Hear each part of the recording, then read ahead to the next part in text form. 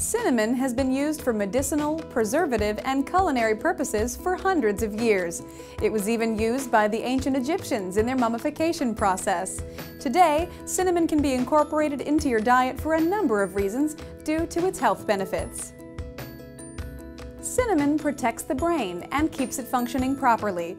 It lowers the levels of bad cholesterol in the body and it promotes healthy skin, healthy hair, and dental health.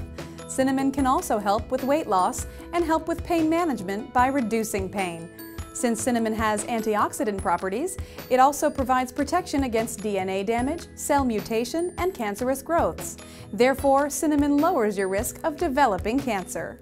Cinnamon also has the ability to help you fight off certain diseases and antibodies.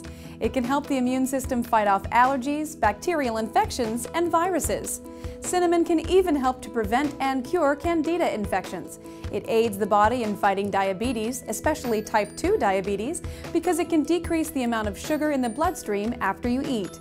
Simply add cinnamon to your drinks such as tea, coffee, juices, protein shakes, and smoothies. You can just sprinkle it in.